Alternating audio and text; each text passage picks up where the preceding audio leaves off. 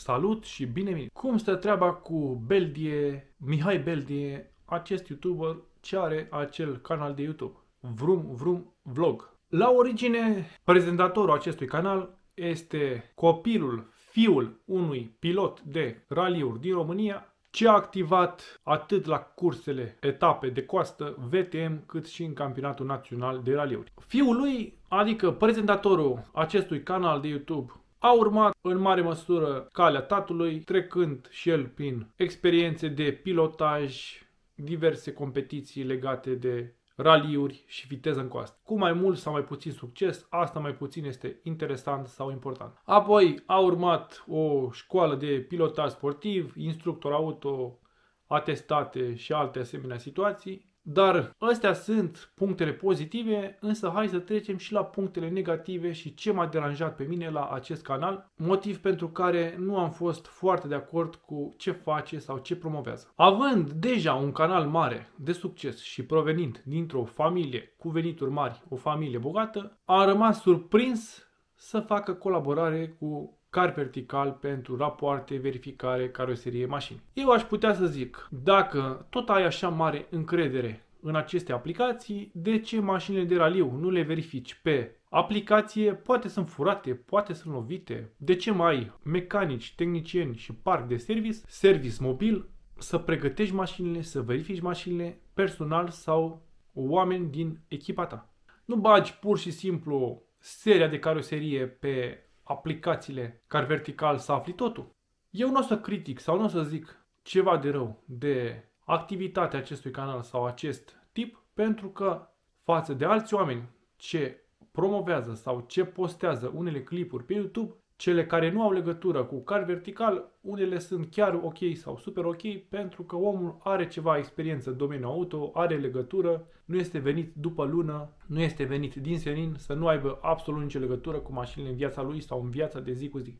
Referitor la aplicații, vreau să zic și pentru urmăritorii mei și pentru urmăritorii lui și pentru el, dacă vede acest clip, că eu o să dau o reducere mai mare la rapoartele car vertical decât o dă el, dar din banii mei, din banii ce sunt plătiți pe acel raport, dacă cumpără cineva raport, tocmai pentru a contracara și pentru a rivaliza oferta lui, ca să fac să gândească de două ori înainte pentru a promova agresiv aceste aplicații în defavoarea unor firme, în defavoarea unor servisuri auto, în defavoarea unor oameni ce chiar au legătură cu domeniul auto, verificarea lor, reparații și alte asemenea. Să promovezi aplicațiile online agresiv și în mod care poate să păcălească și înșele oamenii este cum aș promova eu jocurile jucate pe calculator în defavoarea raliurilor sau curselor auto văzute live să nu vină oamenii să plătească bilet sau să nu vină oamenii la acele competiții auto, să uite în fața televizorului. Viața bate filmul, realitatea este diferită față de ficțiune sau realitatea virtuală. Eu nu am stilul de prezentare bombastic al lui Vrum Vrum Vlog, dar atât timp cât prezentările nu includ reclama agresivă la car vertical și aplicații asemenea, în defavoarea oamenilor ce lucrează cu mașinile sau au legătură cu ele, nu este treaba mea ce fac. La cifrele mele de pe canal, cu siguranță nu o să fie el prea interesat sau prea entuziasmat să colaboreze cu mine sau cu alt canal asemeni canalului meu, deoarece nu ar avea nimic de câștigat. Pentru că, având venituri mici, nu poți să împarți veniturile cu el sau să dai o mare sumă de bani, ori să zici că va profita de urmăritorii mei sau eu de lui. Eu mai curând aș face un clip în care să zic oamenilor, du-te la Beldie, la pilotaj, la școala lui de pilotaj, să dai o tură pe circuit, să te învețe unele șmecherii, unele tehnici de pilotaj, de condus defensiv și cum să eviți anumite accidente sau să conduci mai bine, decât să promovezi niște lucruri neadevărate sau lucruri aiurea care nu fac mare lucru sau nu ajută oamenii cu mare lucru. În schimb, el ar putea să trimită mai bine oamenii la mine decât să-i trimită la car vertical.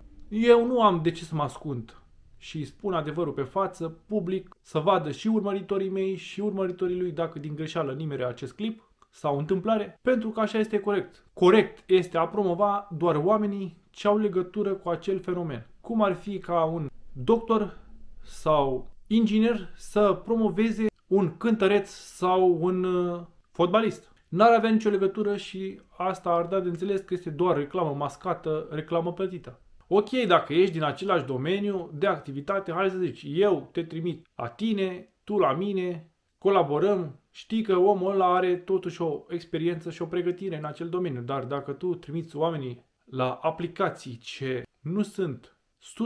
100% conforme cu realitatea în defavoarea oamenilor ce chiar fac treaba asta zi de zi, înseamnă că acolo este ceva suspect, ceva putred. Eu nu știu cât ia sau cât primește vreun vreun vlog pentru reclam la car vertical pe rapoartele plătite prin el cu acel cod de abonat afiliere, dar vreau să spun că la mine voi da întotdeauna tot ce primesc pe acel raport la omul ce vrea să cumpere prin mine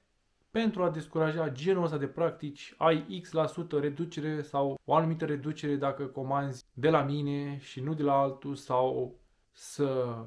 faci genul ăla de clipuri în care să dai încredere prea mare oamenilor în aplicații online în defavoarea oamenilor din domeniul real. Cum ar fi dacă eu aș face un clip în care aș zice de ce să vă duceți voi la Beldie să învățați cum să conduceți bine, mai bine jucați jocuri pe calculator, vă cumpărați volan pedale sau anumite simulatoare auto, scutiți banii și învățați mai bine să conduceți decât vă duceți la Beldie. Dacă aș face acest lucru, nu cred că ți-ar place și conveni ție ca YouTuber și profesionist în domeniul auto sau om ce ai legătură cu pilotajul sportiv și a reprezenta o minciună, o falsitate din partea mea, o reclamă mascată la anumite chestii ce nu au legătură cu domeniul auto. Dacă vrei să colaborăm frumos, fructuos și benefic atât pentru mine cât și pentru tine, dar și pentru oamenii care te urmăresc pe mine sau pe tine, oricând ai drum prin gorj, te pot aștepta, invita la o cafea, la un suc, la o apă plată, la ce vrei tu, sau dacă ajung din întâmplare, din greșeală, din nimereală, prin București sau zona ta sau pe unde te mai muți prin țară, că parcă ai de la Arad deloc sau nu știu exact de unde, apoi mutându-te la București, nu am nicio reținere în a sta câteva minute de vorbă cu tine,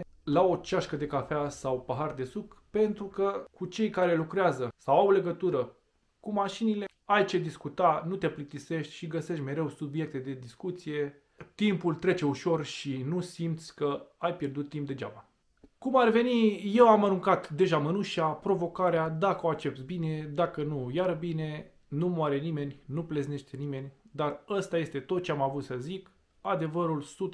așa cum e, gol-goluț, indiferent dacă place sau nu place cuiva. Prin acest clip nu am vrut să jignesc pe nimeni, dacă s-a înțeles asta, revezi clipul încă o dată, să-l verifici și asculți încă o dată cu atenție. Iar pentru urmăritorii ce văd acest clip, pot să zic doar a lăsa un comentariu să spună părerea lor, dacă am dreptate, dacă nu am dreptate, ce strategie trebuie făcută pe viitor cu oamenii care au diverse canale pe YouTube și vor să crească bine, sănătos, frumos, fără a ataca unul pe altul sau a afecta activitatea altora. Oamenii care nu au legătură cu mașinile sunt destul de naivi și destul de ușor de păcălit, pentru că dacă el vede X, Y, toți youtuberii fac reclamă la car verticală, bă, înseamnă că este adevărat, înseamnă că aplicația aia este Dumnezeu pe pământ, este minunea lumii, cea mai tare din univers sau alte aplicații. Acest lucru mă afectează pe mine personal pentru că să pierd clienți, să pierd oameni, dar și oamenii pierd mașini foarte bune care